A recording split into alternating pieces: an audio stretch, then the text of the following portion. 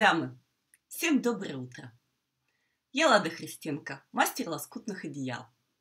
Сегодня у нас вторник, 91-й лоскутный эфир. И мы с вами сегодня начинаем новый проект, который будет называться «Дикая Африка». Но сначала небольшое предисловие. Мне 50 лет, у меня двое детей. Старшей дочери 28, а сыну 18. И последние лет пять передо мной постоянно стоял вопрос, что же ребенку подарить. Ну, не в смысле дочери, а в смысле сыну. Потому что мальчики в этом отношении – это сущность более сложная. Девочки, понятно, цветочки, косметику, что-то такое, а мальчик? Ну, поскольку мы живем в Москве, конечно, обязательным элементом являются гаджеты, телефон, планшет, это само собой как бы. Ну, вот гаджеты уже подарены, что же дальше? Начинается черед так называемых must-have, должен иметь стильные часы, зонт, портмоне, ну, такие вещи, которые вот все-таки в ВУЗ ребенок должен одевать. Хорошая одежда, стильная толстовка, добротные джинсы.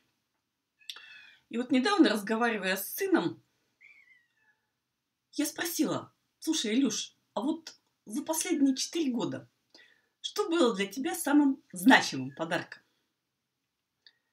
И он сказал, сейчас я вам покажу. Ты знаешь, говорит, помнишь, ты мне шила лоскутное одеяло. Кстати, оно небольшого очень размера, оно 140 на 170. Сейчас он давно уже метр восемьдесят пять, жлобина как бы. Ну, неважно. Но вот одеялка, под которым он спит до сих пор. И я подумала, что, конечно, поскольку вы у нас шьющие девушки все, настала пора сшить лоскутное одеяло для мальчика. Лоскутное одеяло для мальчика тема сложная, потому что цветочки и бабочки здесь не подойдут. А что же подойдет? Путем всяческих опросов долгих я все-таки поняла, что тема Африки, тема саванны, она почему-то пацанов очень сильно цепляет. Я думаю, это потому, что мужчины как бы в первобытном обществе все-таки охотились на мамонтов. И когда наши сыновья, может быть, мужья, братья, видят слонов, они почему-то видят в них образ мамонтов и чувствуют себя настоящими мужиками. Ну, это лирическое отступление, а теперь давайте по делу. По делу. Значит, что мы будем с вами шить, из чего и как? Мы будем шить с вами вот такое одеялко. Сейчас я вам покажу. Оно еще окончательно не готово. Это одеялка Дикая Африка с изображениями животных и с формированием э, квадратов одеяла в стиле Crazy. Но если вы посмотрите внимательно, вот здесь видно, что эти одеяла не состыкованы просто так, а состыкованы через проставки. Поэтому э, в течение нескольких ближайших эфиров я вам буду рассказывать и показывать, как я что-то шью. И вдруг, если понадобятся вам какие-то дополнительные операции, которые вы не знаете, или которые я почему-то не показала по каким-то причинам, я вас буду просто отсылать к соответствующим лоскутным эфирам. Итак, начинаем. Допустим, мы создаем с вами одеяло, которое называется «Дикая Африка». Вообще сразу еще одно лирическое отступление. Шитье одеялок для пацанов – это дело довольно благодарное, потому что в Америке в эпоху Дикого Запада, это 1860 и чуть-чуть поближе к нам, существовала такая традиция в американских семьях на 20-летие шить пацану квилт свободы. Это лоскутное одеяло, которое шили из лоскутов женских платьев. Ну, из э, платьев матери, сестер, как бы подбивали ватой. И вот когда дарили такое одеяло, молодой мужчина начинал самостоятельную жизнь. Он там или в ковбой нанимался перегонять скот, или подавался в золотоискатели, или подавался в город, но при нем всегда было лоскутное одеяло. Поскольку жизнь была тогда кочевая, конечно, оно было важным, ценным, полезным при ночевке в прериях, где-то еще там у костра ночью. И есть еще такой фактор, вы понимаете, вот ночь, костер, прерия, да, и пацан спит в этом одеяле, и пахнет от него дому, мамой. может быть, поэтому они так все-таки женились, заводили семьи. Ну, понятно, да? То есть вот лоскутное одеяло – это все-таки некий фактор стабилизации жизни вашего ребенка. Ну, на этом мы сейчас остановимся, и давайте продолжим основную мысль выдачу. Значит, как одеяло шить? Для шитья одеяла нам с вами понадобится лоскуты хлопка. Э, хлопок, ну, я сейчас вам показываю, конечно, специальные ткани для пэтчворка. Это очень хорошие качественные ткани. Если у вас есть возможность купить, ну, даже небольшие фрагменты тканюшек вот с такими вот животными, не обязательно вот именно такую как бы купить, да? Вот смотрите. Вот еще у меня вот такие тканюшки есть. Это все в магазинах в Москве куплено. Это все можно купить по интернету. А, вот, смотрите, вот такие тканюшечки у меня есть. Ну, это вообще просто кошачья жизнь, видите? Вот неплохие тканюшки, вот на базе которых я шила одеяло. А, ну, что если тканей с африканскими животными у вас нет? Ну, это дело, конечно, поправимое. Сейчас я сложу их. Вот смотрите, э, очень часто продают вот такие тканюшечки. Это панельки с лесными животными. Ну, почему бы, собственно, если не Африка, почему бы не шить вот с лесом, как бы. Тоже вариант.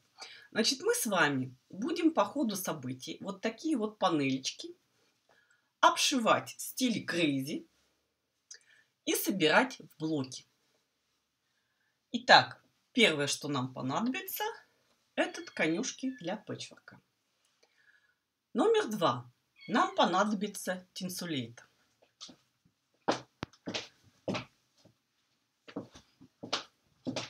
Такое тинсулейт?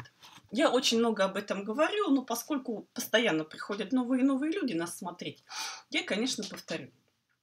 Мой папа работал в космической промышленности, и с детства я знаю, что то, что делают для космоса, это самое надежное, самое качественное и самое, как ни странно, экологически безопасное. Ну так вот, э, в свое время, в 1972 году, э, по заказу э, НАСА, корпорация 3М сделала материал для утепления скафандров астронавтов. Это был тинсулейт. Это полностью искусственный материал. Здесь нет ничего натурального. Это полиэфирные волокна, сразу вам говорю. Значит, в чем его секрет? Он очень хорошо держит тепло, потому что вот эти волокна расположены в формате 3D. То есть они под разными углами, не слоями как бы.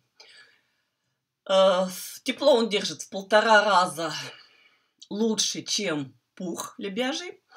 А, он на 25% легче самого легкого меха, этот тинсулейт. Кроме того, он совершенно гипоаллергенный, экологически безопасный. И даже если, вот, не дай бог, пожар, как бы, ну, по правилам космоса нельзя, чтобы горело, а, он не горит, а плавится.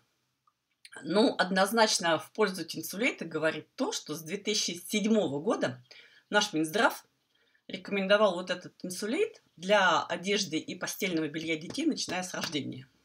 Ну, это значит, что и нашим стандартам, и ОЭКОТЕК стандарт, как бы европейским, этот материал соответствует.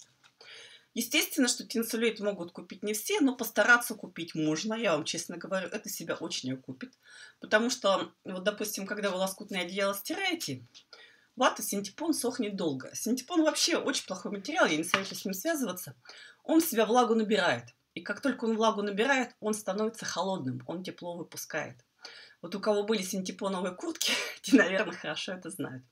Вот один инсулит, напротив, он тепло удерживает, а влагу выпускает. Ну, поэтому вот, наверное, это один из лучших утеплителей в мире сейчас. Итак, утеплитель тинсулейт. Ну и, наконец, что я использую для подкладки лоскутных одеял. Я вот сейчас вам показываю, это штапель. Я его покупаю в Москве в оптовой компании Furtex. Ну и обходится он мне порядка 300 рублей за погонный метр при ширине 140. А, в разных местах я встречала штапель где-то за 400, 450, 500 рублей за метр. Но это розничная цена, она, естественно, дороже, чем хороший штапель. Штапель делают из вискозы. Вискоза – это елка. Елка, она бактерицидная. И хороша тем, штапель хорош тем, что в нем не заводятся патогенные микробы. Ну, то есть, в принципе, не заводятся. Они вот, поскольку все-таки штапель из елки, они не могут прям там заводиться вот органически как бы. В хлопке, как ни странно, заводятся, во фланельке заводятся как бы. Ну и штапель, он очень приятен коже, он очень комфортен. И вот несмотря на то, что одеяло теплое, он об кожу трется и создает такую очень приятную прохладу. Как ни странно, возвращаясь к сыну там и к детям вообще, дети, как ни странно, тактильные ощущения очень ценят. И, наверное, не зря вот такое одеялко, а вот тут, видите, другой немножко штапель синенький как бы. Вот оно прямо любимое. Теперь сразу насчет стирать.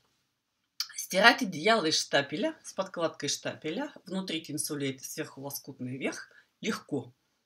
Стиральной машине на деликатном режиме. С любым порошком, который вы используете, или гелем ласка, или что-то еще, как бы. Деликатный режим, 40 минут постирали, ну максимум 2 часа, оно у вас в квартире на горизонтальной сушилке высохло. Все. Э, как часто стирать? ну, у меня стиральный психоз, как говорит мой муж – но одеяло я стираю не чаще, чем раз в квартал. Почему-то вот оно не сильно так как-то пачкается, ну вот, видимо, в свойствах штапеля дело. Это все, что я сказала вам о составляющих одеяла. Э, я думаю, что сейчас мы еще с вами поговорим о размерах. Вообще оптимальный размер для пацана, ну, лет 18, я думаю, что 170 на 200. Почему на 200? Ну, потому что они растут, и потому что у них кровати сейчас стандартные 2 метра, как бы. В принципе, вы вправе придумывать ваши размеры. Ну, если вы вот подростку лет с 14 одеяло шьете, 170 на 200 оптимальный размер. И поэтому все расчеты для одеяла мы будем делать именно под такой размер. Как делать расчеты, э, как составлять схемы, как собирать лоскутный верх. Вот тут у меня был кусочек, я вам показывала уже. Сейчас бежал куда-то. Как собирать вообще со, саму вот эту картиночку. Вот такую вот. Э, я вам подробно, очень спокойно, в нормальном режиме расскажу. Что от вас нужно сейчас? Нужно просто сказать себе, я буду шить лоскутное одеяло для сына, для внука, как бы. Э, надо купить ткани. Мы сейчас с вами примерно определим сколько. Но я думаю, что если со зверушками, то не меньше метра. И плюс еще прикладу понадобится очень много. Но мы все это с вами будем разбирать в следующих лоскутных эфирах. Итого. Что нам нужно? Размер 170 на 200. Нужен хлопок. Нужен тинсулейт. Нужен штапель. Погонная ширина, ширина тинсулейта составляет 148 сантиметров. То есть для двухметрового одеяла вам понадобится как минимум 3,5 метра тинсулейта. Все, что останется, вы пустите в подушку, совершенно по этому поводу не переживайте. Штапель, у него ширина обычная 140. Ну, то есть при ширине 140 вам понадобится тоже примерно 3,5 метра. Ну, кто хочет немножко поэкономить, пошьет из кусочков и так далее. Вот, собственно, все, что я хотела сказать в 91-м лоскутном эфире. И в следующих эфирах мы переходим с вами к шитью лоскутного одеяла для подростка или для молодого мужчины. Назовем мы его с вами квилт молодого охотника. С вами была Лада Христенко, мастер лоскутных одеял. Всем удачного дня. Пока!